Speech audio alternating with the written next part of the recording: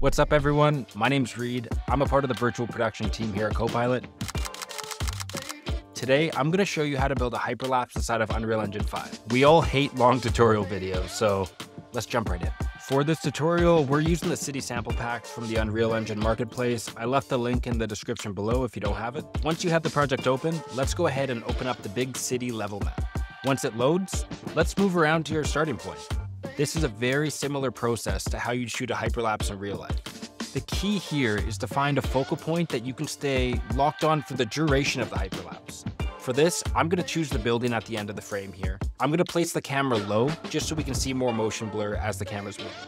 Once you're ready to go with your starting point, we're gonna go ahead and create a new Cinecamera actor. Be sure to rename your camera. For this, I'm gonna use Hyperlapse Test.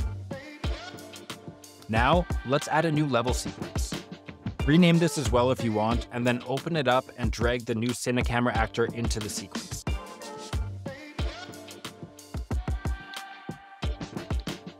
Before we start, we want to make sure that this looks the most like a real life hyperlapse, so we're going to change the frames per second for the sequence to 24 frames per second.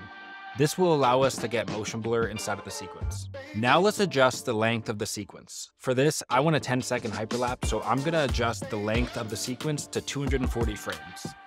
Okay, next up, let's open up the cinematic viewport. Make sure that your camera track is selected in sequencer, and then we're gonna open up the 3x3 grid. What's nice about the cinematic viewport is that it's very similar to a camera. So if you're coming from a photography or a filmmaking background, this interface should look really familiar. And now we're ready to get started with the camera movement. First up, because we already selected the starting point, we're just gonna set the keyframes and the transforms. All right, so we have the starting point. Now we're gonna move the playhead and sequencer all the way to the end of the track. And now it's the fun part. So you're gonna use the arrows and you're gonna move the virtual camera towards the end point of the shot. When I do this, I like to visualize the actual shot itself. So this helps me see the camera movement and make sure that it looks realistic. All right, now that we're at the end of the shot, I'm just gonna set the transform keyframes just like we did before. All right, let's hit play. It's looking pretty good. We have the movement of the camera done. It looks really good, but the one thing that I'm noticing is that it just looks like we're in a video game engine. So one thing we can do to help with this is add motion blur. If we open up the details panel, we're gonna search blur. For this, I'm using 0.75 for amount and 10 for target FPS, but feel free to play around with whatever works best for you. I totally made this up in the spot and it works best for my scene. For some reason, Unreal Engine loves keeping the keyframes at a cubic interpolation. It makes the cinematics look kind of like a game cutscene, so for this, we're gonna change it to linear.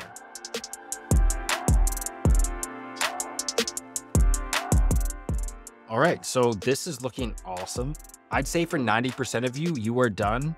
Depending on the environment you're using, this hyperlapse looks fantastic. However, watching this back, it looks great, but you'll notice that the sun in the scene isn't moving like it would in real life. When you shoot a hyperlapse, it's essentially a moving time lapse. When you shoot a time lapse, it shows passing in time, and we don't see that here. But we're perfectionists here, so let's make this perfect. Time to jump into blueprints, baby. All right, let's open up the level blueprint.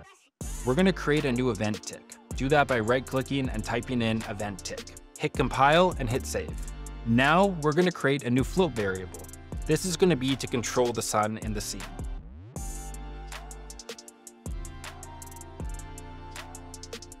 Now that we've done that, let's rename it to sun speed. Now let's create a multiply node to our event and get a reference to our float variable that we just created. and then connect it to the second input of the multiply node. So when we open up the detail panels on the right, you'll notice that it's not actually showing up in there. We're gonna hit compile and save, and there we have it, it's sitting right there. So I'm gonna type in 10 here, and then hit compile and save again. Next step is to create a rotator node, and then reconnect the multiply node to the y-axis. Now we're gonna drag off the return value pin and we're gonna add a local rotation node. If it's not showing up, just turn off context sensitive.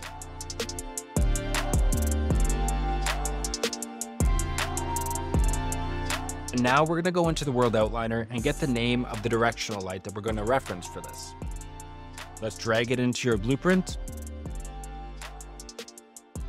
Let's connect the pin of the directional light and connect it to the target pin of the Add Actor Local Rotation node and then connect the event node to the actor location rotation node. All right, so at this point, it should work. The one last thing we're gonna do here is comment our code. So what that means is let's just draw a box around here. This is essential in keeping your blueprints organized within Unreal Engine, and it's not something that's necessary for this project, but you should get used to doing it. Let's compile save, and then finally going back into the engine. Now let's turn on simulate mode and hit play, and voila, there it is. So we have the sun moving, and now it looks like an actual time lapse and a passing of time as the camera's moving.